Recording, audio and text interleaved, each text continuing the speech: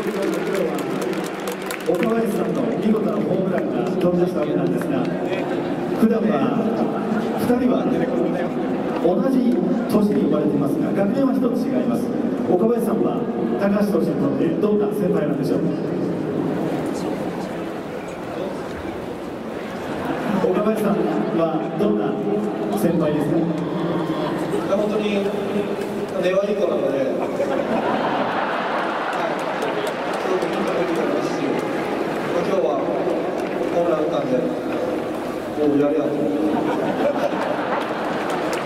ではマイクを岡林さんにお渡しください岡林さん根はいい子だそうですがどうでしょうはい、えー、まあ、えー、1個下ですけど、えー、中身は先輩なので、はい、えー、今日はヒロトに、あのヒロトさんに、えー、勝ちがつけれて、すごく嬉しいです。まあ、あの年の近い2人ですが、今日は高橋宏斗投手の投球を後ろから見ていて、どんなふうに感じましたか。そうですね、えー、いつもがむしゃらに、えー、投げてましたけど、今日はちょっと、えー、何があったかわかんないんですけど、あの力感なく大人のピッチングしてたので、えーまあ、これが先輩のピッチングだなと思いました。